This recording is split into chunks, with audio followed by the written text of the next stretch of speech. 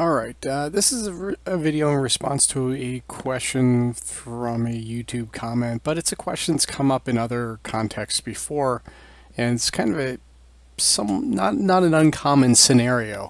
Basically, the question is, or the the scenario is that the person wants to create a flow that will run, uh, basically send reminders or send emails on specific milestones. In this case, it's it's for new hires in an organization and for the first six months that that person after that person's start date they want to send an email to the user's manager to have them fill out a performance evaluation of some kind. Uh, so to replicate that I've set up a very simple list here in SharePoint called new hires. Simply have a title column which is the person's name and then uh, the two columns that we need to make this process work are a person column uh, in this case, I called it user, which has the user record of that particular hire, and then a date column, which is hire date. Now, it is important that this actually be a date column, not just text column containing 10, 28, 22. So be sure that you make it as a date column um, in SharePoint. And I've simply called that hire date. Uh, so the internal name will be the same name but without that space in between, which is important because we'll need to know that later.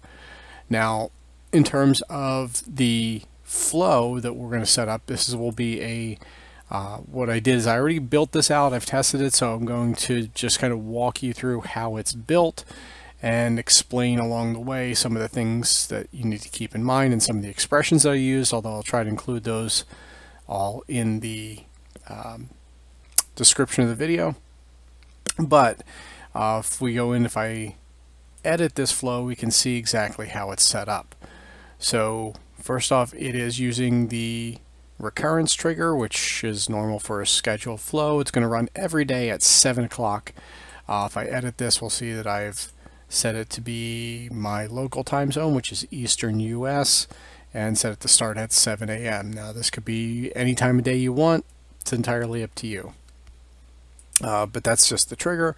Now, kind of the, the heart of this is this variable, this uh, array variable that I created, which is going to contain information for those milestones. So basically we've got, uh, this is an array of objects. So each object in the array has a title value, in this case six month, and a date value, which I'm using this um, not terribly complicated expression, but I'm basically using the subtract from time expression, the convert from UTC expression, and the UTC now expression in combination to get the date that is six months before the current date.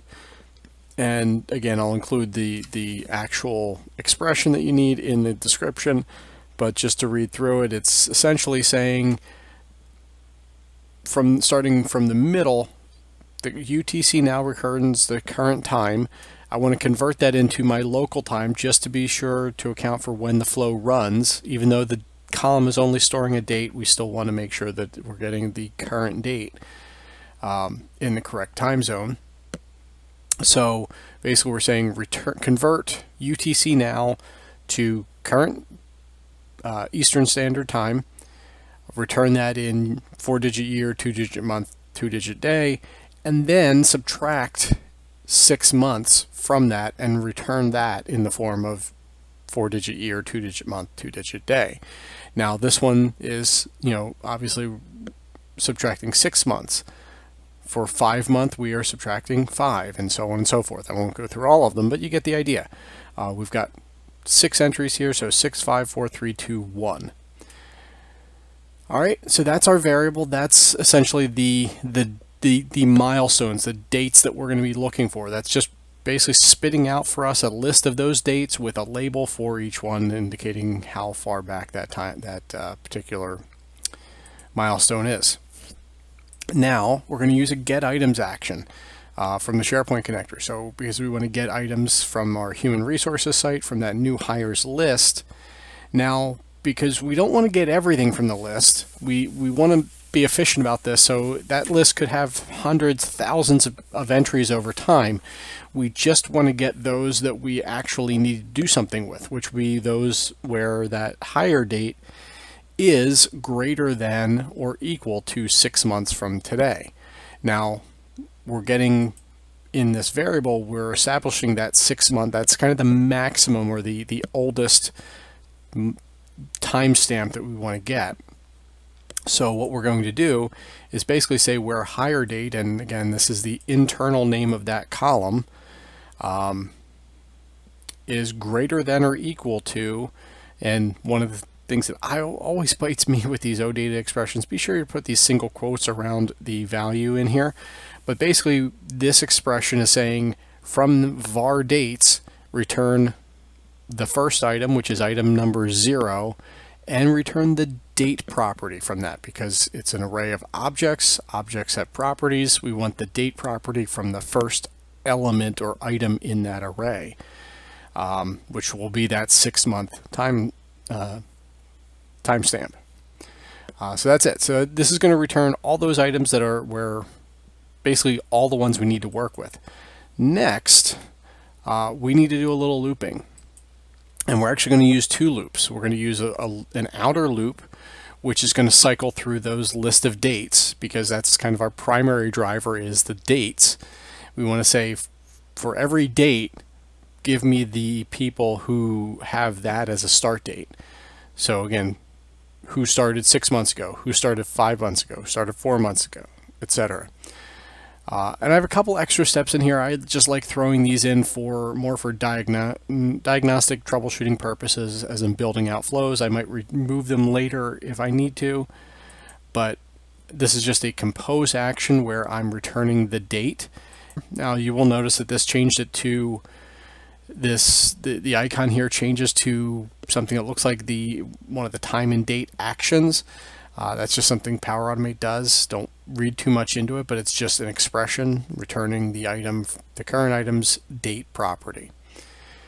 Uh, next, I am going to use a filter array action because this get items is outputting an array of items.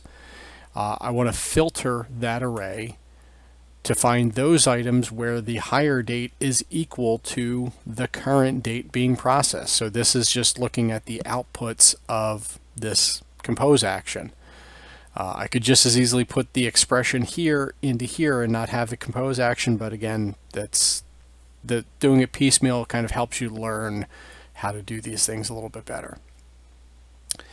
Uh, and then after that filter array, I have another compose action that I've renamed to count results.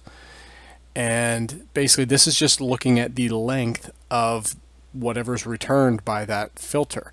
So again, not necessary for the process, but good to know for as you're building it and troubleshooting it to ensure that you're getting the right result. So if there are five people hired on a particular day, this count should be five uh, when that date is being processed.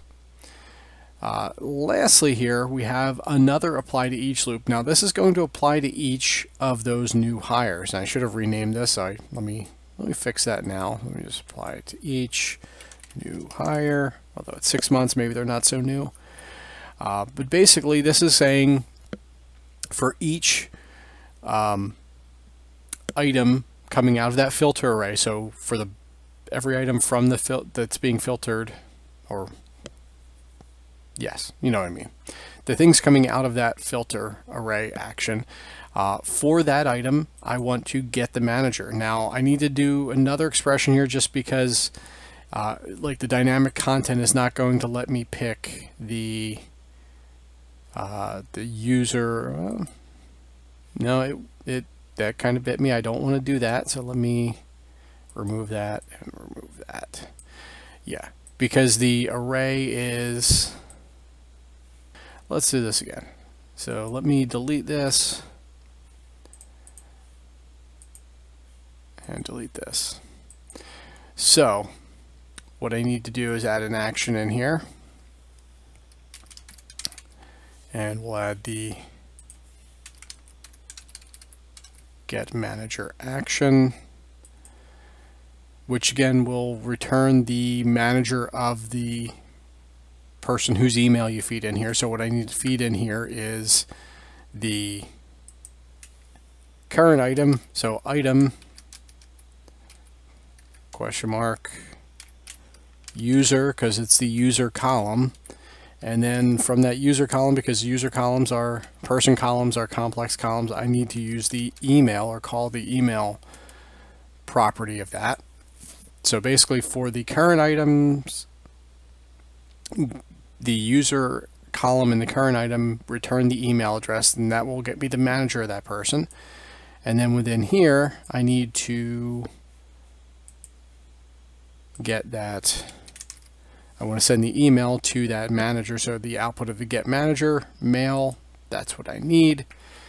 Now within the subject here, I'm simply saying please complete, and this is the title of that outer. So that apply to each date loop, the item, the current item that's being processed, return the title of this. So this will be that five month, six month, four month, etc.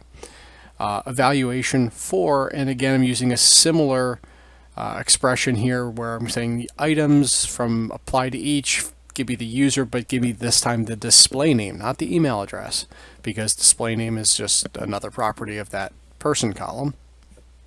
And for simplicity, the body of my email is simply link to evaluation form.